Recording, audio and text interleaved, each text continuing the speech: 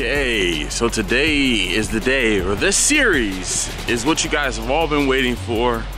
How to build a steel drum smoker from scratch. So, first and foremost, let's go head into the Home Depot. We have some parts to get. Hey yo, this is Dash. Yeah. My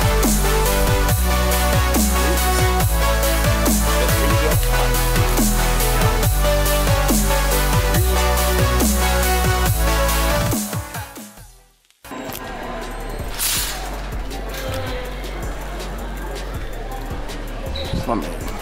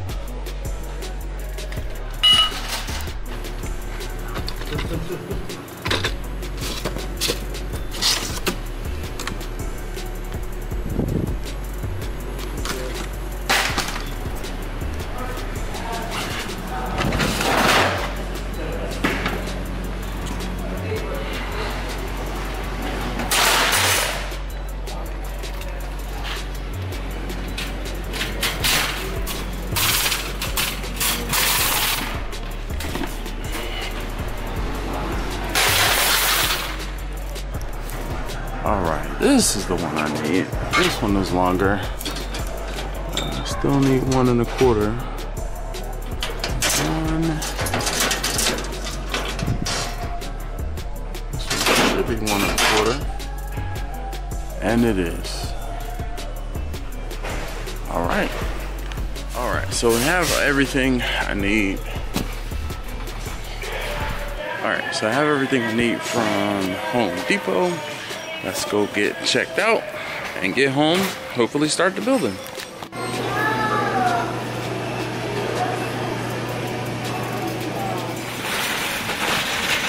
All right, so with tax, that ended up being about $110 for just the plumbing aspect of the build, basically. The plumbing, the flat stock, the grill grates or the grates, so, yeah. Now that also doesn't include the materials I have already. The materials I have already being the expanded, the screws and other things like that that I already have. All right, so it's been a couple hours and I have a drum here. Now, I prefer to use a drum that has a solid top. And I know it's more work in the in the beginning, but I have to cut this out and then I have to kind of mold or fix the top. This one actually also has a dent in it. Now, this one says it has flammable liquid inside or it had flammable liquid inside. So you need to be careful that that flammable liquid has dissipated. Ask me how I know. All right. Um, so I do also have a drum in the back there that has an open top and I have used one of those to make a smoker out of before in the past. I thought that it would actually be easier, but because of the fact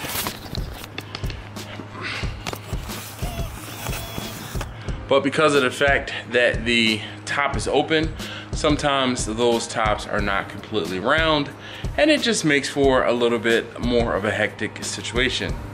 Be it that this one is in fact intact, it should be easier, albeit slightly more difficult because I have to cut the top off. So I'm gonna go ahead and get set up, get a grinding wheel, and the best thing I found to cut the top off of this is a grinding wheel, so I'm gonna get the grinding wheel and cut it off. Okay, so now that we have the top cut off and the edges, so you saw me working with the grinder and then with the hammer. And what I did was I just knocked the edge back so it's pretty much flat and flush. You guys saw me also, sorry, you guys also saw me knock out the dent there. This is gonna be, well, usually I put the seam to be the back of the smoker, but uh, this might be the front, or maybe we'll just do it on the side. How about that?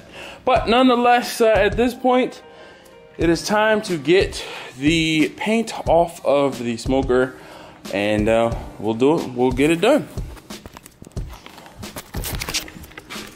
All right, so before I forget, and I know I, I was just about to get started, excuse me, and I know I was gonna have questions about this, but what is it I use to take the paint, to, to strip the paint off of the drum? It is a four and a half inch polycarbonate, polycarbide abrasive wheel. This is the best thing I've ever found to remove paint off of uh, these drums. I've tried all types of stuff. I've tried sanders, I've tried just like a straight grinding wheel. I mean, this is the bee's knees. Now it is pretty hard labor, so I'm gonna put you guys, I'm gonna set you guys back up on a time lapse and just get working at it. I'll see you guys back in a bit.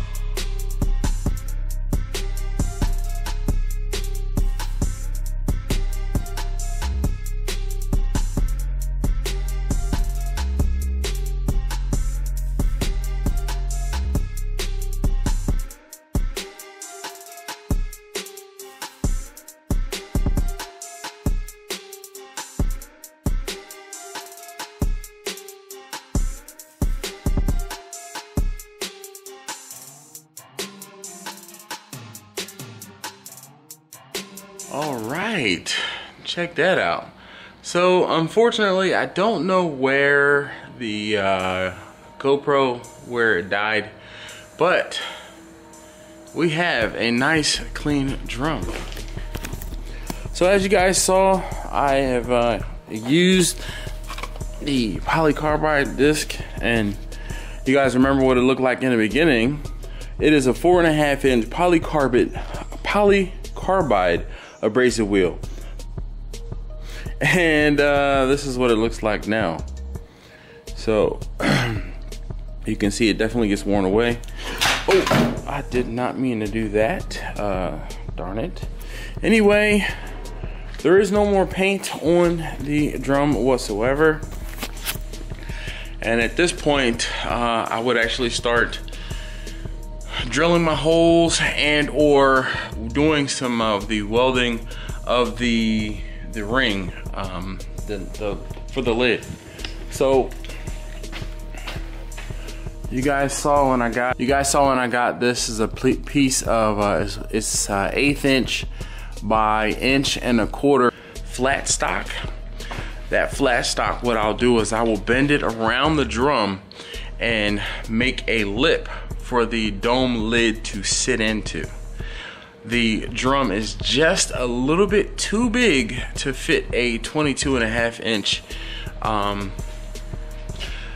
to fit a 22 and a half inch uh, dome lid so what I saw or what I found is if you weld a strip of metal just on the inside you will then be able to get that dome to sit on the lip perfectly so that's pretty much what I do. Uh, so the next step is basically gonna be me rolling the uh, band and I actually saw Alan from Alan's Welding and Woodworking. He used heat. I'm thinking I might try to use some heat to make the, that job a lot easier. When I would do it before, I would just kind of do it by hand and I'd use pliers or vice grips and hold it still and then bend it around and then kind of get it into the shape that I needed. Once I had it into the shape that I needed, I would then just um, transfer that ring into the, uh, from the bottom, right? From the bottom to the top, uh, into the opening uh, at the top, and then I would weld it in. So at this point, I think this is a good stopping point. I will pick this back up um, for another day for you guys. It'll probably be just tomorrow for me. But nonetheless, I really want to thank you guys for watching. Thank you guys for, you know, for your patience with this whole build. You know, life, man. Life, life, life. And the good thing is, it's getting cooler so I can be out in the garage and work and not be miserable. So you know, the builds and the things that are happening in the garage should be ramping up. So, thank you again as always for watching. If you haven't already, please do subscribe. Say goodbye to the new drum there. I think that is probably like official drum number 12 or 13 that I built. Maybe, I think it's number 12. Anyway, uh, thank you again as always for watching. Um, if you like what you saw, if you learned something today, please leave me a thumbs up down below. And uh, as always, I'll see you guys next time.